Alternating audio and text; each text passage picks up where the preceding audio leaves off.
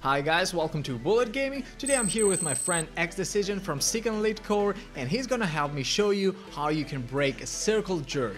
Well, a lot of times it happened to you that maybe you encountered another mediocre jet fighter and he just starts circling and circling around without doing much but maintaining the perfect speed so you can't really catch up with him.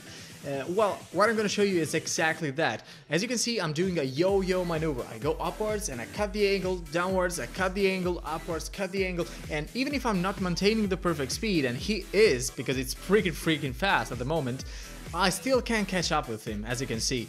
And that's pretty much it. You can actually break the circle jerk by doing this. It's a good counter to circling.